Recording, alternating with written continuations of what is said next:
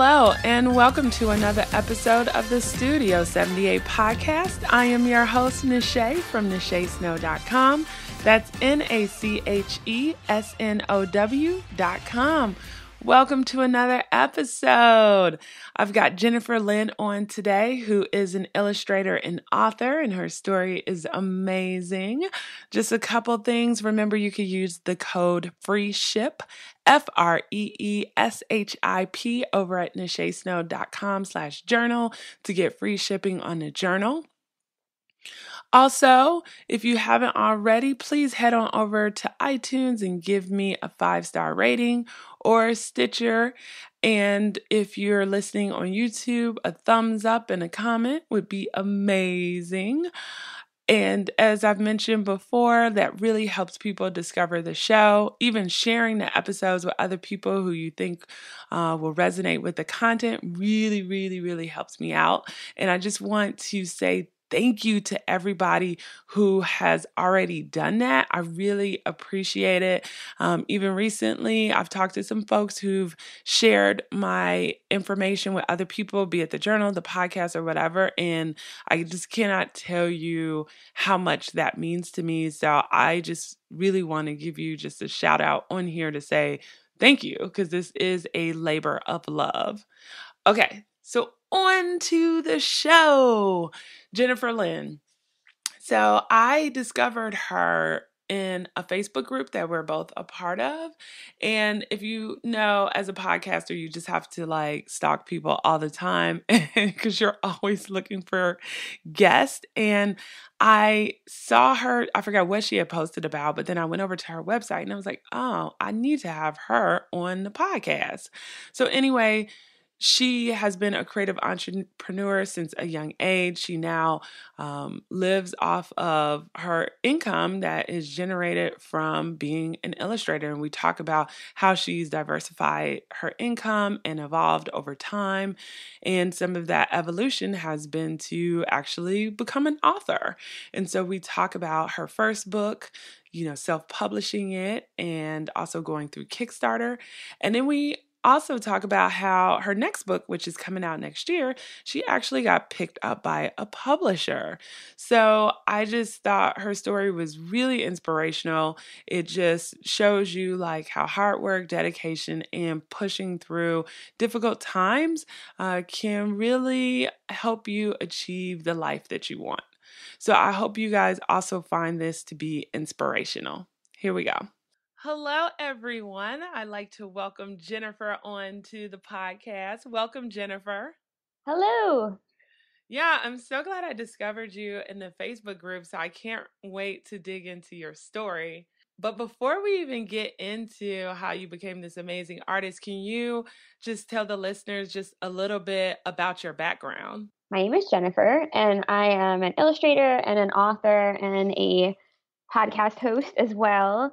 I actually I started doing artist related things when I was really young, around 9 I started making jewelry and I started selling it at 15 and did that for 10 years and then in 2010 while going through a really difficult time, I found illustration and that kind of helped me out of the difficult time. Um, and so I've been doing that ever since.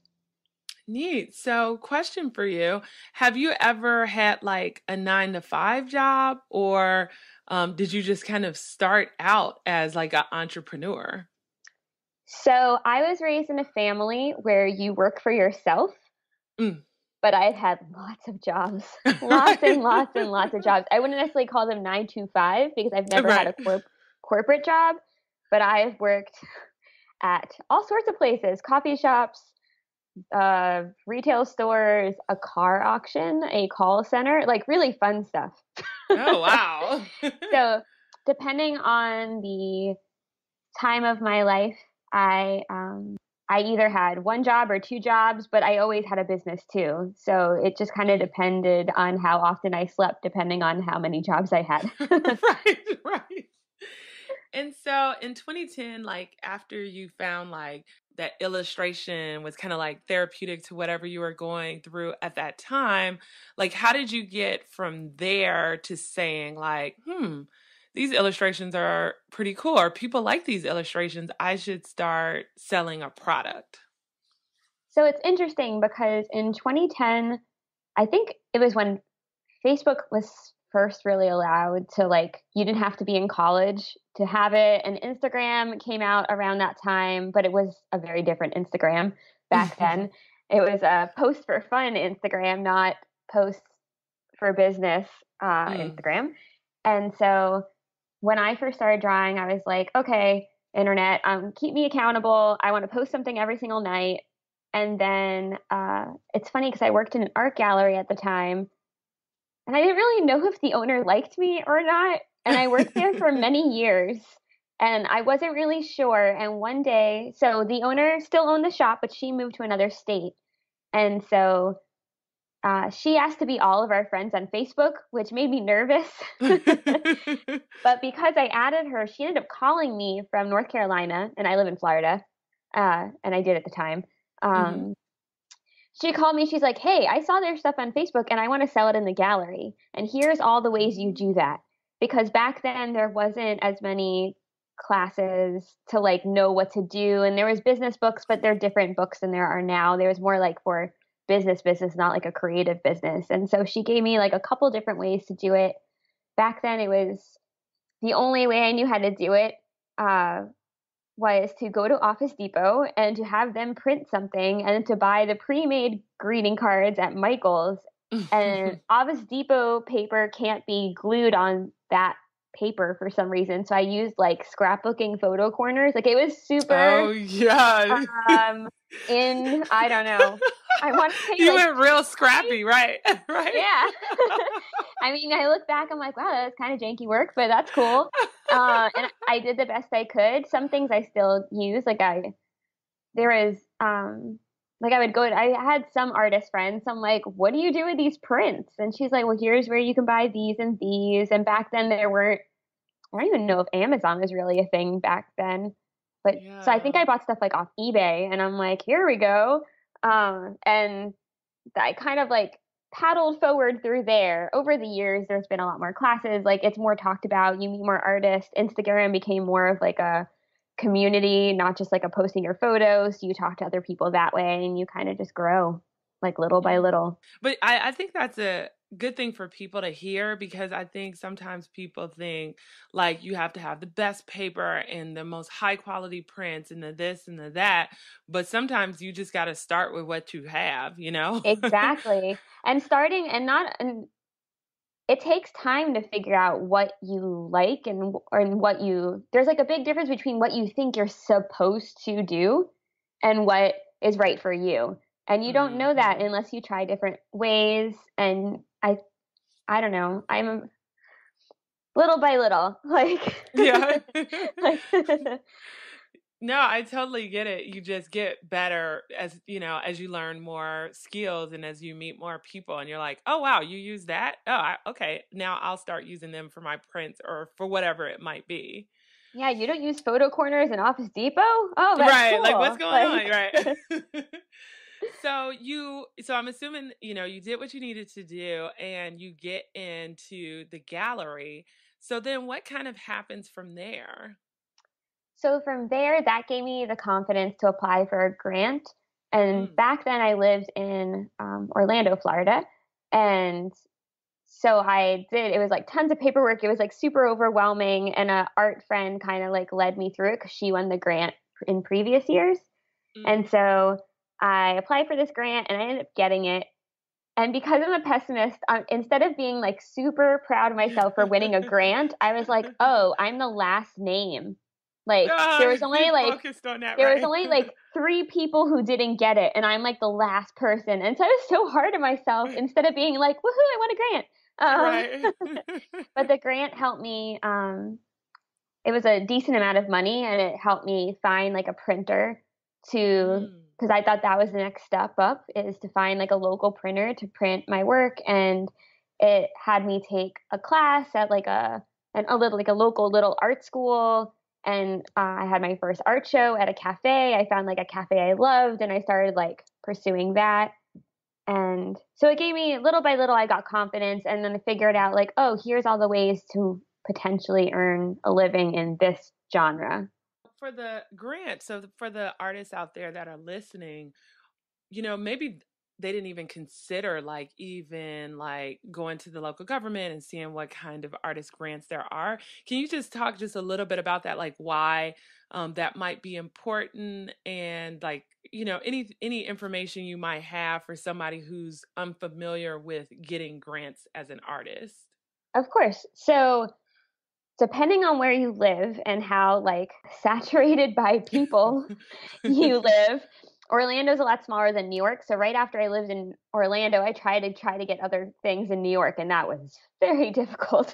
yeah. but but basically, it it's finding local. If you look up like artist grants, there's everything from small little grants to where you live.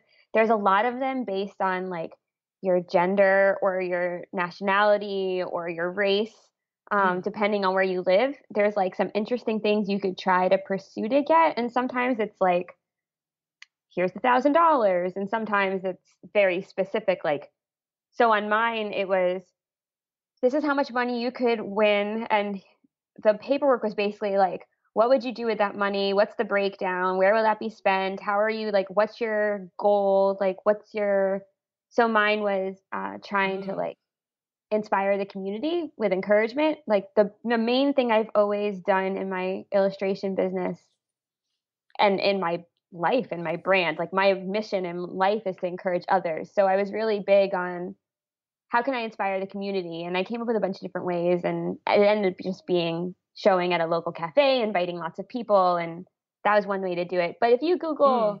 Grants, there's everything from small grants like that and then there's really amazing grant opportunities like hundred thousand dollars like yeah well even like adobe residencies which oh, residencies oh, yeah. are different than grants but they're they're in the like the same wheelhouse and that one i've tried to win twice like and i'm sure many other people have tried to win it multiple times but that one seems like an incredible opportunity if you haven't heard about it um the adobe yeah. Yeah. That seems like a really I um I forgot what podcast I was listening to and they interviewed somebody who was one of the past winners and it just sounded amazing. Amazing. Yeah. yeah. you basically get paid for like a year. They pay for your flights, you do lectures and they help you produce product. And not a product, it could be anything, like depending on what you um like pitch your work. Like there's everything from graphic designers to videographers to like everything in between. So it's pretty amazing. Like, mm, yeah, no, I'm like, I was like looking at that myself and I'm like, oh my God, that would be like the dream, right? Because you get to really just truly focus on your creative project and you don't have to worry about income. I know. It's the you dream. and now, you know, and before I move on to the next thing, just one more question about the grant. Like with like once you win it, do you have to then like report back to them or they're like, "Okay, this is great. Here's your pot of money. Execute your plan. Good luck."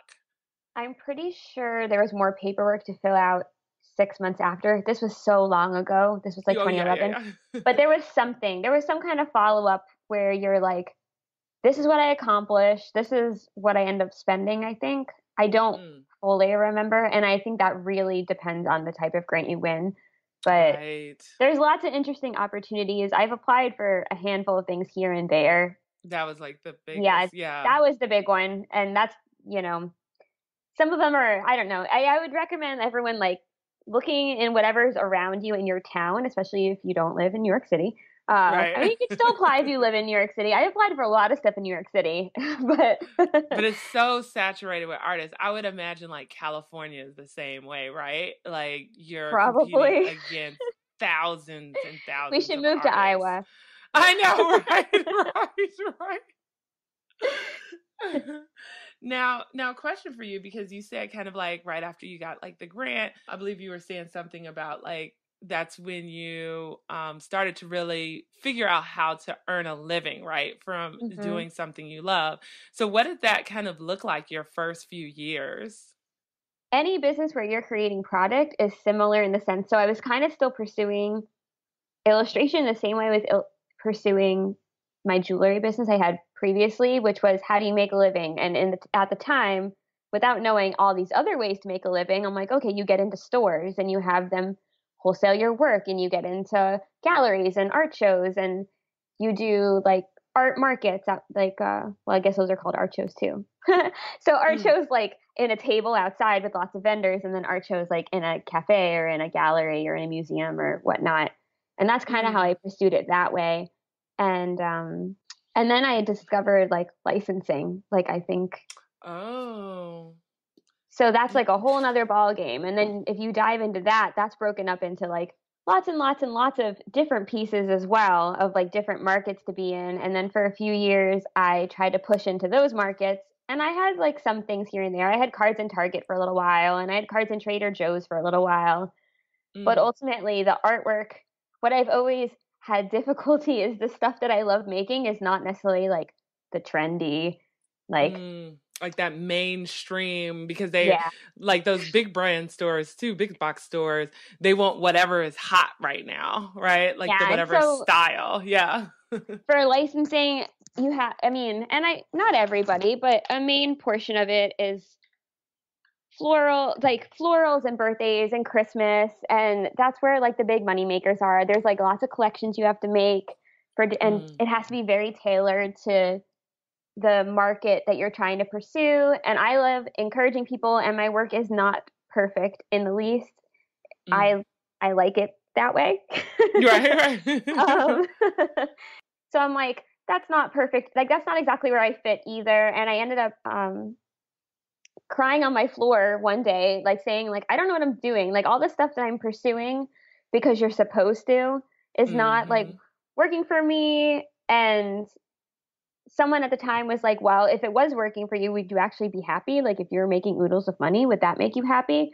Like doing this particular thing? And I'm like, not at all. And so she's like, what? What do you want to do? And I was like, I want to write a book. I want to encourage all the girls who are struggling that with the, that need the encouragement I needed when I was young and I couldn't find.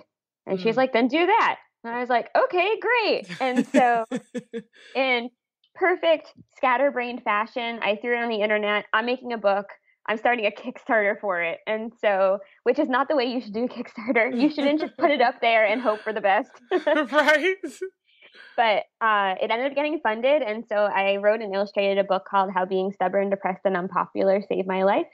Mm. And, and so I tried to peddle that for the few years, which I realized self publishing is, which is what I did, is very difficult because a lot of bookstores are like, we can't take a self published book. I'm sorry. Like, so yeah, it gets tricky. Like, I just self published a book this year too. I went through Ingram Sparks. who did you decide to go through for your, your, your book? So I ended up creating it on CreateSpace. Oh yeah, and Amazon. Mm-hmm. So I looked at In- Ingram's a distributor, isn't it? Or yeah, so Ingram is a distributor, and then they're the self-published version of them is Ingram Sparks. Okay, yeah, I remember looking yeah. them up too. And my husband helped me do all this research because ultimately I really wanted to find like a small person to do it, but you mm-hmm. still had to mm-hmm. order thousands. And right. so, and since I had like, and I lived in a very tiny apartment in New York, so even ordering 200 books filled up like our whole living room. And there's these funny pictures. I just gave a talk at a writers group, like a women's writers group, and I showed all these pictures of like me and my husband surrounded by boxes of books, like in our tiny right. New York apartment. And so I think I ended up having maybe 86 backers or something. And so we packaged all those books up and we sent them on their way. And I would try to get a publisher over the next few years. And eventually I did. Uh, so mm. I have another book coming out in 2019. Uh, it's very different than my book I wrote, mm. but I'm still hoping it helps girls. yeah, I I am positive it will. And then that's interesting too because and I've heard stories like that too. Um, so how were you how do you think you were able to finally like get a publisher to pick it up? Was it because of the book sale or you know publicity or you know what do you think it is that you did that made them say like oh we're you know we want to have Jenipher like create a book for us well this day and age is really hard so unless mm-hmm. you have like a mega following online you probably can't just pitch publishers a lot of them won't even take solicited pitches I did get lots of wonderful rejections from the ones who said no. um, but but basically, I ended up finding an agent. I messaged quite a few of them, and finally, one said yes, and then you have to do it the traditional way, like creating like a a proper pitch to the publishers, and you end up sending it to lots and lots of publishers, and you're lucky if if one or maybe even two say yes, I want to pick this up, and that's like a whole mm. nother ball game. But um, but the uh, one picked it up though, so that's really did. cool. Yeah. and so my book is being published by a branch of Penguin Random House called Crown, and uh, it's taken a very long time. I signed the contract in 2016, and the book will be out in 2019. So. oh wow. wow, but I've heard that too. So it's it's kind of like a waiting game, right? A little bit. Yeah. It's hard because it's not like the book was the book is still it's it's still being edited now so it is a long process of and there's a lot of people and a lot of hands it has to go through and it's it's very different than self-publishing. There's definitely pros and cons to both of them. I mean look we both created books maybe not easily but a lot more easily than in the traditional publishing way.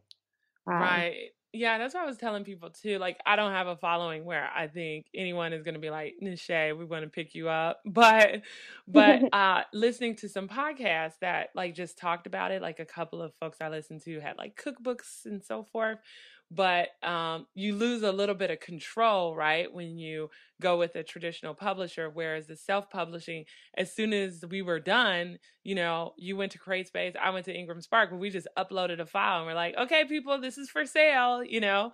Um, mm-hmm. Um, there's not it's like so a lot different. admin. Yeah.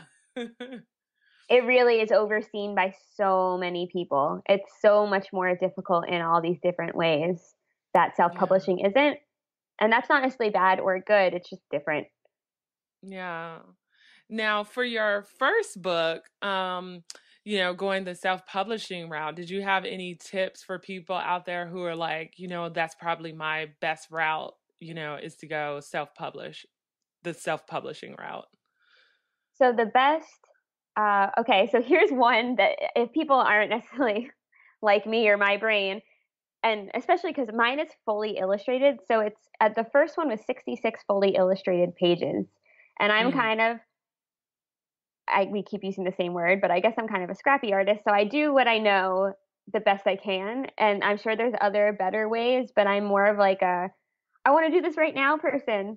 And so right. I'm, I'm like, I'll just lay everything out in Photoshop. And so I came up with like a few pages and I would like kind of in a collage type manner, like stick the text I want to put and the people and like the illustrations and the doodles all around it and do what I want. And so I created like a good chunk of the book that way before really realizing, oh, I don't want a book that's eight by 10. Like, ah, uh, the size. Like, yeah. why in the world would you not think about that before you make a book? but it didn't even occur to me. Like, that wasn't even a question in my brain. It was just like, I opened up a file and then I you know, made more files. Like just start it.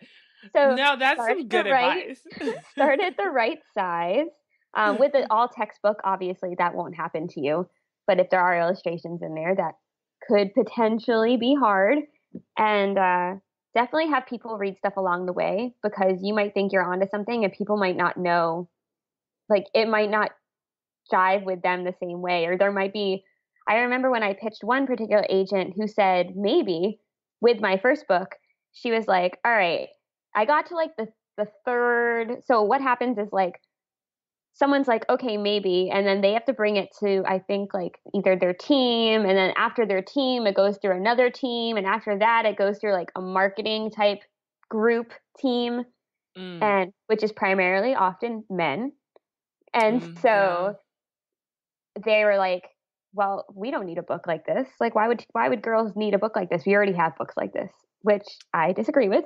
And right. so, but she was able to tell me like, if we did pick up your book after this last meeting, here's like where things are missing. Like this story right here, since my book is uh, is like my story, it's an encouraging book using my story to help people not feel alone. Like if I could help other people not have to go through what I've gone through, by like mm. humorously telling you a, like a raw story, then that's I'm doing my job. And so she's like, you went from like this age to this age. Like, what about the middle? And you talk about like the hard parts of dating here, but then you talk about being married. Like, there's no like middle. And so I ended up republishing my book in 2015. So I the Kickstarter ran in 2012, and in 2013 I published the book and then sent it out to all of my Kickstarter backers. And then in 2015 I changed the cover and I added 30 more pages and I implemented everything that she recommended to me because whoever I ended up trying to pitch my book to again,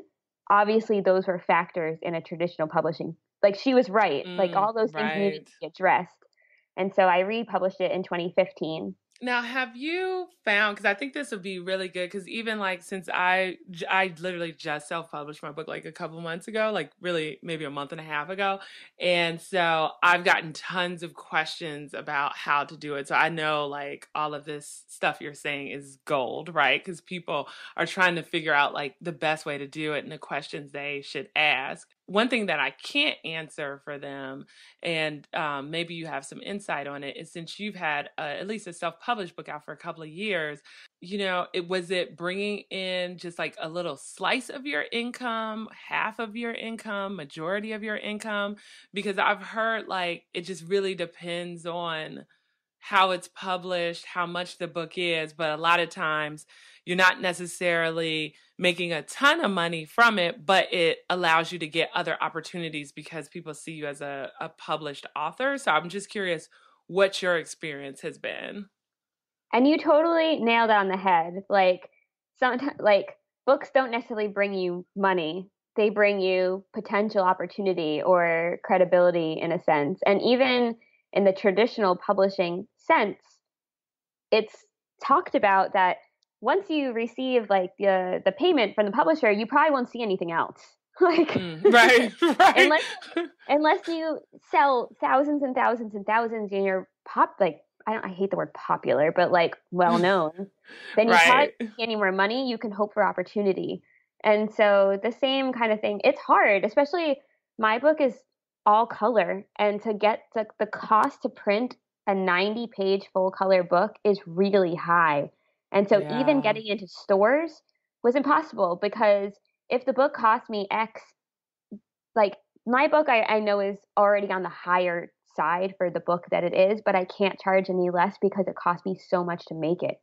And right. that's the hard part about self publishing, at least in America. If, unless you wanted to order thousands of them, which you mm, can right. still do in America, it's very difficult. I mean, for a textbook, it might be a little easier because I'm sure I'm not sure if yours is all text, but the profit margin is probably a lot higher.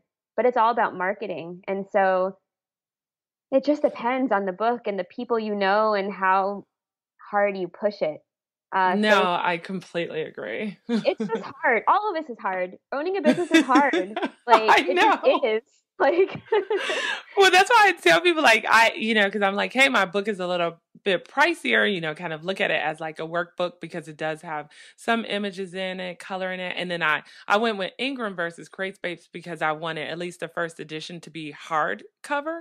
And mm-hmm. so I'm like getting a hardcover book with premium pages.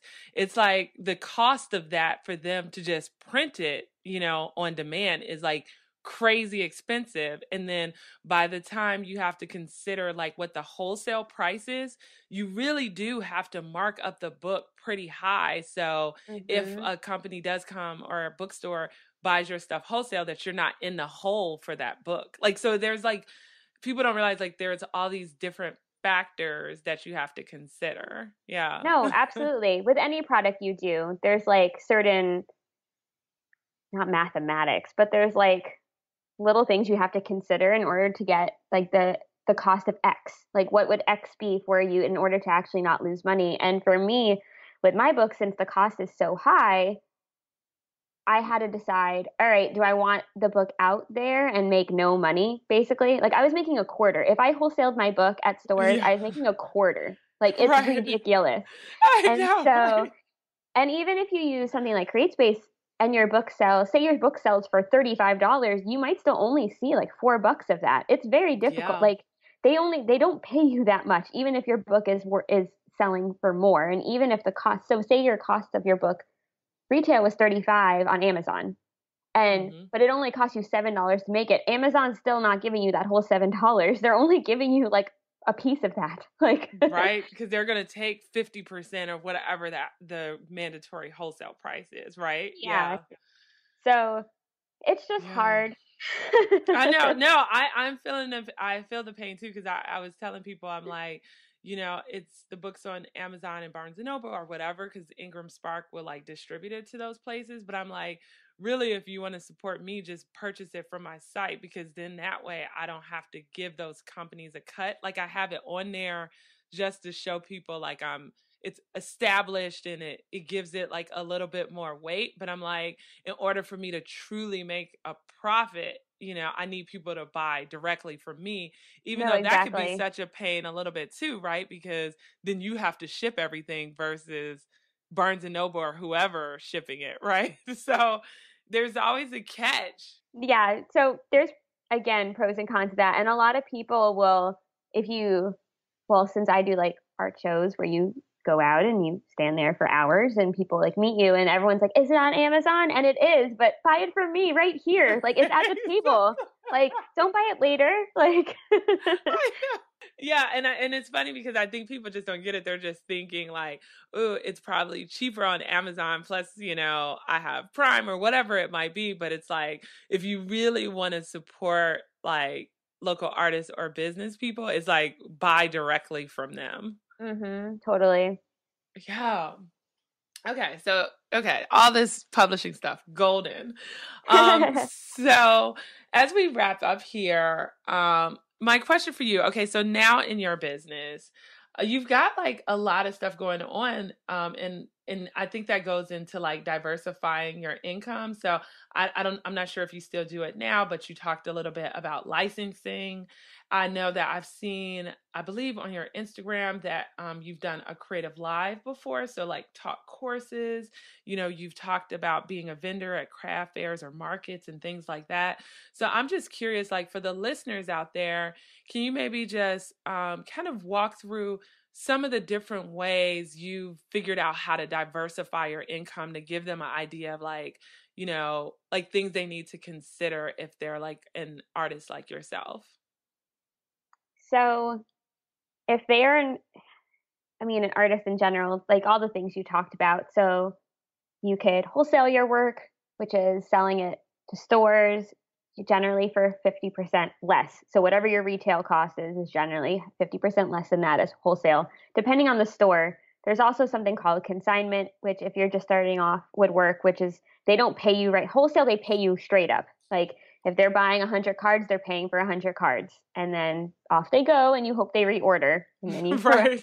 um, and you harass them until they hopefully reorder. And, uh, well, continuously coming up with new product. That's always been the hardest part for me, is since my my end goal was not to create birthday cards and all like I had trouble growing as a product person because in order to succeed in the wholesale genre of like prints and cards is coming up with new collections all the time and the collections would have to include specific things.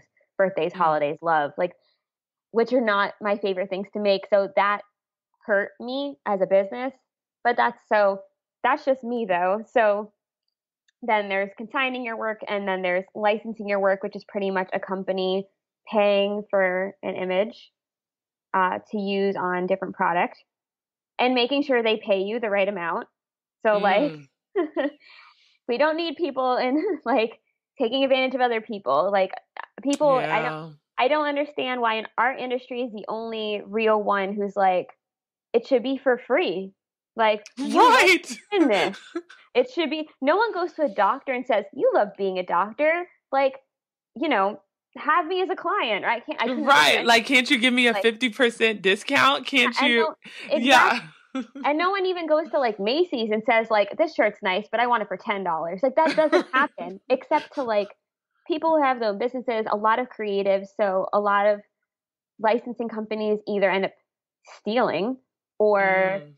cheaping people out. And so if you are going the licensing route, really do your research and figure out what you should be paid for things because it ends up hurting the rest of us if someone's like if I'm using Target as an example, but like if Target's like, oh, well, Jenipher did it for $100, so we're just going to only offer people $100. Obviously, we could find people who would do it for $100 when it should be like $10,000 or $1,000. Right. Like, and so yeah. if you do go that route, make sure you don't get taken advantage of because also things take way longer than you think they're going to take, always. Mm. And when people are paying you less, they tend to also have a lot more opinions. And so people want to pay you 200 bucks and then tell you, "Oh, I don't want that after I'll redo it." And Mm. that's not how that works. yeah. Also, always make sure there's a contract. Like Mm. Yes. so make sure you get paid. Uh, and then other ways to be like an artist.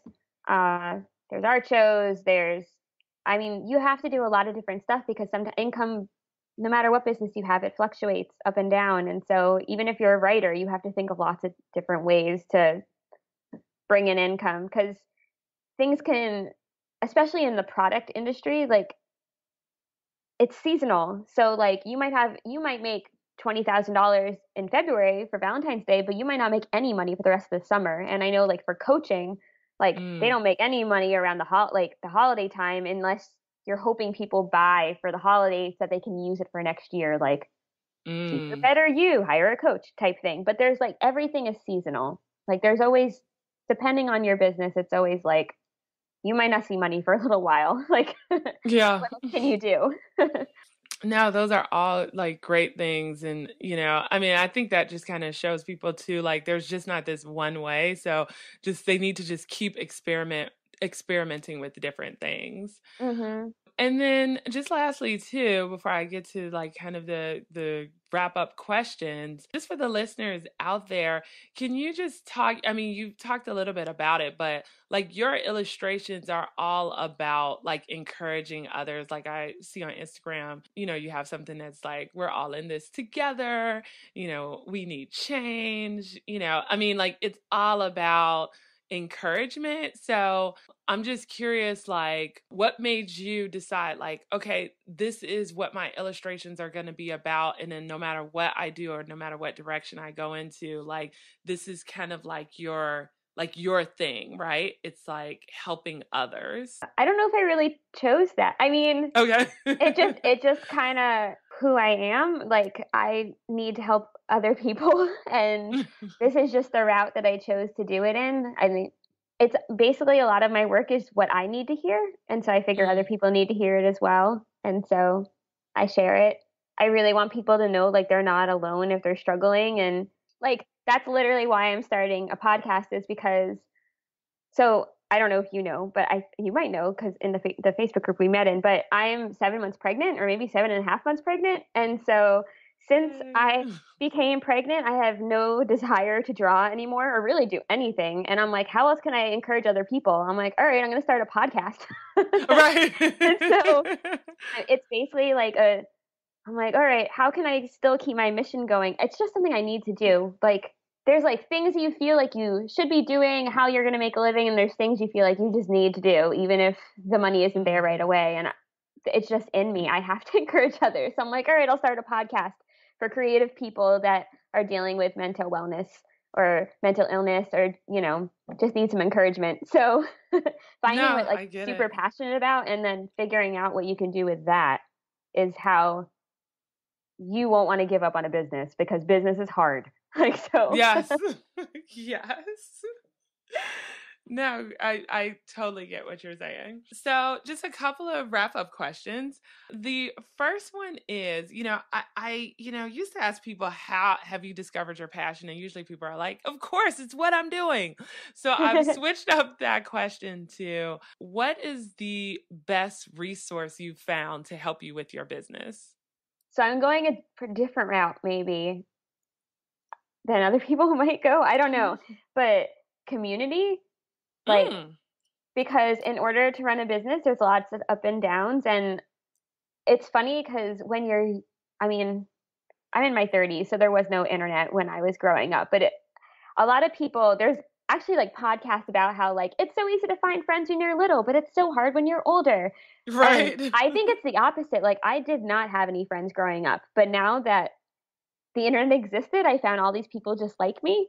And Mm. so most of my friends, my best closest people I talk to every day, I've never even met in real life.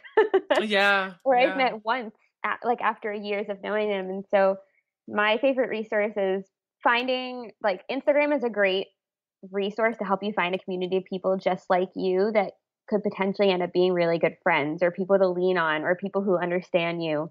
And it might not mm-hmm. be Instagram for you, depending on what your business is, but finding people who can relate and they don't have to do exactly what you're doing. I, all my friends aren't illustrators. A lot of them do lots of different stuff, but life is hard and you need people to talk to. And even if it's just one person or two people, whether you know them from the internet or not, uh, mm-hmm. uh, that's how I stay sane. no, yeah, uh, community is important you need you need people that you can relate to that you can vent to that you can talk to.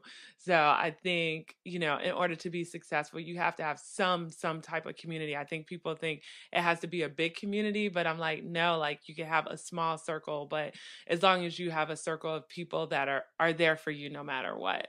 Yeah. Mm-hmm.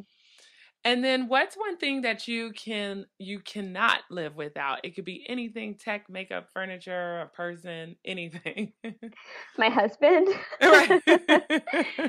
I t- it took my husband and I seven years of being best friends to date, and uh, he's mine now forever, and I get oh, to keep nice. him. and now you guys are about to have like a little mini you. I know we're having a little mini him. It's so weird. Very cool. And then please just tell the listeners, like, you know, any social media handles, your website, your podcast, anything you want them to know about. Sure. And so my website is jenipherlyn.com. I spell my name kind of weird. It's J E N I P H E R, Lyn, L Y N dot com. And then from there, my handle on everything is pretty much the same thing. It's at Jenipher Lyn. My podcast is jenipherlyn.com slash podcast and it's called Rainy Day Diaries, and it comes out on April 2nd, and I'm so excited. well, very cool. Thank you for agreeing to be on the podcast. Of course. Thanks for having me.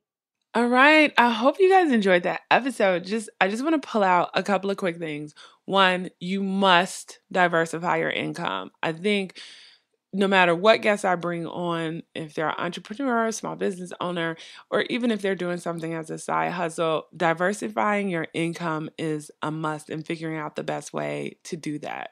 Second, just do whatever you really want to do. Do not be afraid and don't wait until you feel everything is perfect because no, nothing will ever be perfect. And I think her story just shows that. Like, she just was like, hey, you know what? I'm going to do this book. She did the book, she did a Kickstarter, and everything worked out. And everything doesn't always work out, but that's okay too. Because when things don't work out for me, I just pivot. It's not the end of the world. I still have my life. So, you know what I'm saying? Like, I still can move on, learn from whatever has happened, and then go from there. So, don't be afraid to really do what you want to do. And then, lastly, she mentions a story about how her friend, like right before she published a book, like was asking her, you know, what is it that re- you really want to do and what will make you happy? And that's what like led her to the book. And that just reminded me of the reason why I created my journal is because we never take the time to ask ourselves those questions like, what will make me happy? Like, what in my life doesn't make me happy? what can I change about that? And then what can I do like moving forward? So I challenge you to really just take the time and ask yourself some of those questions. It's just all about self discovery. And when you do, if you're really honest with yourself, then I think you will fi- figure out like, what you should do moving forward.